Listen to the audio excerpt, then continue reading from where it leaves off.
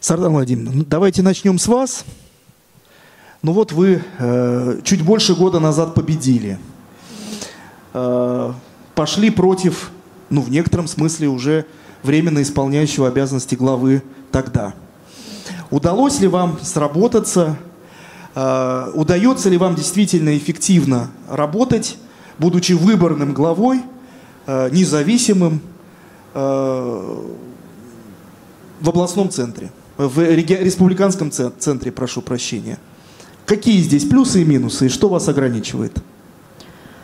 Ну, действительно, но я бы не сказала, наверное, даже, что я э, выиграла э, выборы там, или победила, а скорее всего это абсолютно четкое и недвусмысленное волеизъявление жителей города Якутска. Это их результат и это их решение. И почему я так говорю? Потому что я принципиально считаю, что я на выборы шла с этим же лозунгом, что все решает человек.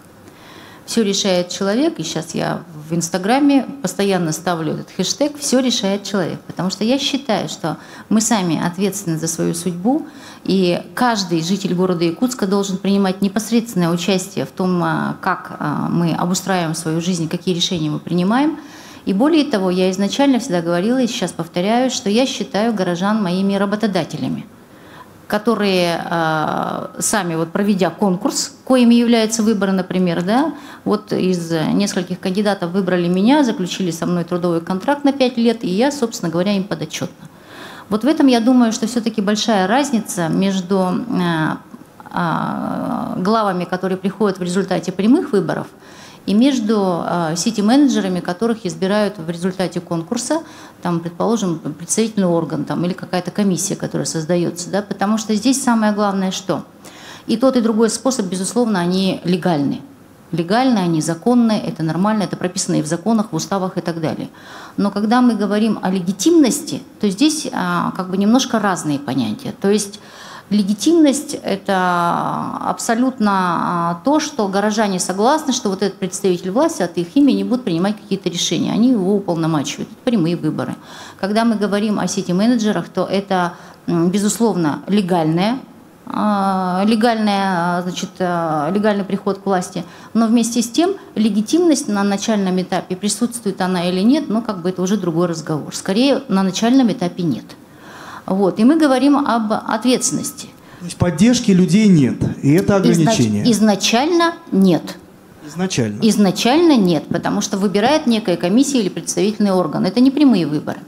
Но а, затем, опять же, ну, не исключается возможность, что какой-то выдающийся сити-менеджер может, конечно, достигнуть и а, показателей определенной легитимности. Может. Это не исключается. Но вместе с тем, смотрите, а, я знаю, что я несу прямую ответственность перед моими избирателями, перед моими работодателями, жителями города Якутска. Тогда как выборный а, сити-менеджер в первую очередь подотчетен а, тому представительному органу, который его избрал, и, соответственно, кто его рекомендовал, и так далее, и так далее, партийная принадлежность и разные такие вещи. И то правило, о котором мы с вами э, говорили чуть ранее, да, вассал моего вассала не мой вассал, да, то есть господин моего господина в данном случае не мой господин. И поэтому в данном случае мы, когда говорим о конечном а, источнике власти, а мы говорим, что единственным источником власти в Российской Федерации в соответствии с Конституцией является ее многонациональный народ, то в данном случае сити-менеджер непосредственно а, значит, жителю той или иной территории, он не, не подотчетен. Моральная ответственность, как бы такая она, планка такая. Зависит опять же от человека. Если попадется очень приличный э, сити-менеджер, который э, добьется определенного уровня легитимности своими действиями, значит, будет понимать, э, значит, э, за чей счет он, собственно говоря, получает зарплату и э, живет и действует. Ну, это как бы другой разговор. Но я бы хотела сказать, что э, вот вы э, задали вопрос о том, как мне работает сейчас, какие взаимоотношения с главой субъекта. Э, вы будете удивлены, хорошие взаимоотношения. Хорошие взаимоотношения, и в данном случае, конечно же, это больше заслуга главы субъекта. Показатель его опыта, его интеллекта и его э, уверенности в себе. Потому что сильная власть не должна бояться – Сильная власть а, может идти на компромиссы, может идти на диалог, потому что в конечном результате, а, впрочем, как и глава муниципалитета, мы а, с главой а, региона преследуем одни и те же цели, по большому счету. И поэтому здесь, конечно, и, э, собственно, на волне успеха выборов и так далее, и главе муниципалитета, конечно, не стоит забываться, потому что большинство муниципалитетов дотационные, к Якутску это не относится, но тем не менее. Те субвенции, которые есть, те, которые значит, в межбюджетном трансфертном подходе э, значит, поступают из разных бюджетов, мы должны понимать, что есть понятие бюджетной зависимости в любом случае. Поэтому здесь, конечно, вопрос да. Дальше мы говорим о том, что э, вообще мы на сегодняшний день, когда мы говорим о прямых выборах, я понимаю, что мы говорим, вот возвращаясь опять к теме легитимности.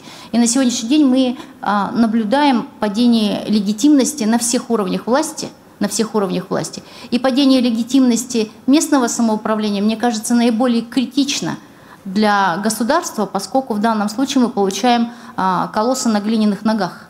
Потому что местное самоуправление, хотя оно как бы и не вписано в систему там, государственной власти, государственного управления, тем не менее в политической, а, в политической системе государства оно является а, как бы базовой основой. И если у нас слабые муниципалитеты, и если у нас неэффективные муниципалитеты, то, соответственно, мы получаем риски и угрозу вообще для всего государственного строя нашего государства, если говорить так в целом. Мы говорим о том, что, а, опять же, сильный муниципалитет – это замечательная консолидирующая сила.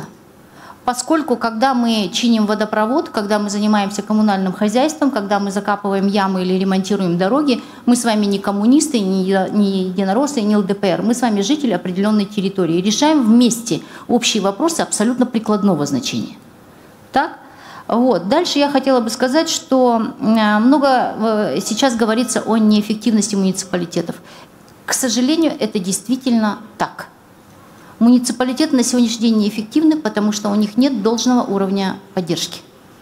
И опять, может быть, я забегаю вперед о межбюджетных отношениях и так далее, но мы говорим о том, что, например, город Якутск.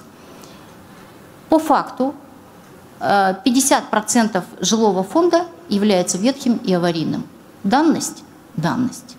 Мы говорим о том, что а, значит, мы имеем очень, изношенные, а, очень изношенную коммунальную инфраструктуру. Мы говорим о том, что мы имеем дефицит бюджета. И поэтому, как ни прискорбно, на сегодняшний день вот а, такой вот точкой является совершенно позорная штука, как мусорная реформа, например, да, которая по всей России довольно так вот сложно прокатилась. И а, вот для Якутска характерно очень большое количество, вот к стыду, э, к стыду нашему общему, неблагоустроенного жилого фонда. И на сегодняшний день региональный оператор отказывается обслуживать неблагоустроенный жилой фонд. Аварийный жилой фонд, аварийный жилой фонд, а, значит, исключается из, э, из фонда капитального э, ремонта. Да, ну что это? В общем, на самом деле. И, соответственно, местная власть в этом смысле, она ничего сделать не может, и в глазах собственных жителей она становится неэффективной. Так, может быть, эти вопросы нужно передавать на уровень мэров, на уровне глав, э, на уровне городов? Вот. Как вы считаете? Потому что получается как? У нас вот, например, а, сколько, а, значит, финансирование школ определяется на уровне субъекта. Значит, и мы должны понимать, что подушевое финансирование крайне несправедливое. На севере на одного ребенка до 150 э, тысяч, э, в городе Якутске 74. Чем ребенок в городе Якутске хуже? Но большую часть этих денег, которые направляются, на сегодняшний день съедается э, значит, заработной платой, заработной платой и повышением заработной платы по майским указам. Собственно, я к чему это все говорю, что в муниципалитетах, я не думаю, что это только в городе Якутске, полагаю, что везде, может быть, даже в городе Якутске лучше, чем в некоторых э, других э, муниципалитетах. У муниципалитетов сегодня не остается ни средств, ни ресурсов, ни инструментов для того, чтобы развивать территории. Сегодня речь идет о том, что мы выживаем. Мы латаем дырки и как Тришкин кафтан перетаскиваем с одного на другое. И это печально. Поэтому отсюда напрашивается вывод, что делать. Я полагаю, что полномочия муниципалитетов должны быть расширены, это во-первых. Во-вторых, муниципальная служба, она должна стать, но если не более привлекательной, то, так скажем, более уважаемой. Вот, э, будучи э, значит, вот, э, главой города, я очень обеспокоена низкой заработной платой муниципальных служащих. Управление муниципального контроля – а, значит, агентство земельных отношений, а, департамент градостроительства и так далее. Специалисты получают по 30 э, тысяч рублей. Это что? При этом они а, значит, работают в контрактной системе, при, этой, при этом они подписывают акты выполненных работ. Массив работы огромный. Мы посчитали, на одного муниципального служащего в городе Якутске приходится 1600 жителей. Для города Якутска эта нагрузка довольно серьезная. И мы говорим о том, что э, кроме расширения полномочий, мы говорим о том, что и, и мы с вами говорили уже об этом, что необходима все-таки подготовка кадров определенная.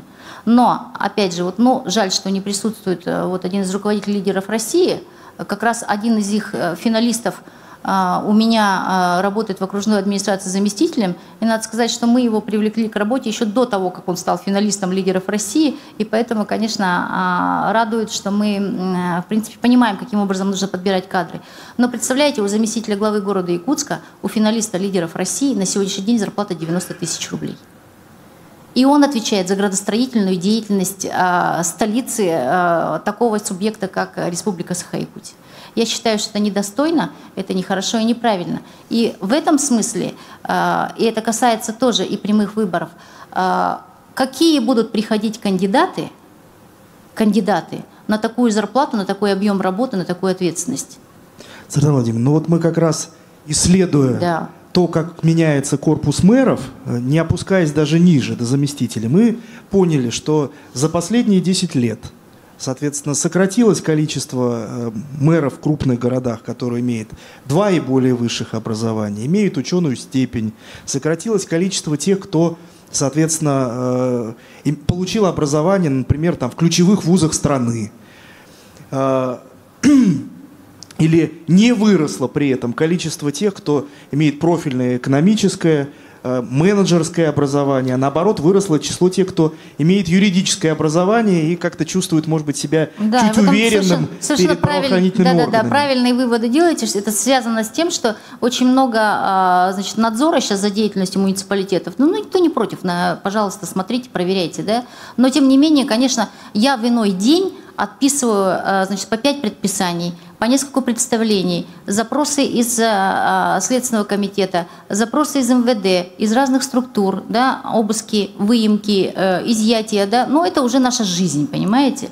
Мало кто может такой прессинг выдержать. И ваш доклад, ваш доклад, вот знаете, можно подписаться под каждой строчкой. Я вам скажу даже больше. Я сижу перед вами, живая картинка вашего доклада. Потому что, когда я посмотрела, очень а, хорошо вы там посчитали, там, а, возраст, значит, избрания 48 лет, да, до 48 лет, да. Проживают, а, значит, выросли, живут в этом же городе, да. Образование такое, значит, такое. Ну, вы единственное, что написали, вот мы сейчас с вами смеялись, да, что э, по, по гендерному принципу я не совпадаю с вашим докладом, с выводами основными, но вы там сказали, что увеличивается количество до 2%, по-моему, там что-то такое посчитали. Поэтому действительно доклад очень полезный для анализа э, существующей ситуации. Сардана Владимировна, вот я, я-то как раз к тому, что если с мэрами у нас так ситуация печально меняется... Как это? То... Если у вас в Моссовете такие проблемы, да? Да, то, то со всеми остальными-то муниципалами как быть? И все-таки, вот вы успешный пример э, мэра, который избравшись, пока вопреки, успешный, пока, пока успешный, успешный, сработались и работаете. У вас э, там хороший бэкграунд, опыт, образование, вы разбираетесь в юридических вопросах, а вот избрали жители не того. Вот э, оказалось, что человек не подготовлен, конфликтен, э, не способен вы, вынести психологическую нагрузку. Как с этим быть? А, во-первых, а, я думаю, что мы все вместе должны работать чем я ежедневно занимаюсь в том же своем инстаграме, там, где у меня 127 а, тысяч подписчиков, да, а, э, повышать правовую культуру значит, жителей, горожан в данном случае, правовую культуру, чтобы они понимали, что такое работа мэра, как, какие функции мэр должен, глава муниципального образования должен исполнять, для того, чтобы в последующем, когда они будут делать выбор, они подходили к этому серьезнее. С одной стороны. С другой стороны, я думаю, что все-таки я начала об этом говорить, видимо, мысль не продолжила. А, должна быть система подготовки кадров. Должна быть система подготовки кадров. А, ну, а, простите за примитивное сравнение, да, но когда мы приходим в магазин, выбираем, например, себе какой-то продукт, ну, мясо там первой категории, там высшей категории, там вырезка, то все, пятое, десятое. И кандидаты тоже должны быть готовы. И тогда, с одной стороны, повышение правовой культуры, а с другой стороны, качественный состав кандидатов они минимизируют те ошибки, о которых мы с вами говорим, когда может прийти случайный человек в результате прямых выборов. Это куда, когда же надо готовить? Уже, если Уже избрали, уже нужно уже работать. здесь. Вот, а с имеющимися тоже надо работать на плановой основе. Вот я там а, год с лишним работаю, но как бы э, есть у нас Совет муниципальных образований, методические какие-то вот эти вещи есть, прослеживаются. Все-таки я думаю, что вышестоящие органы все равно должны, конечно, заниматься повышением квалификации. Понятно. Но мы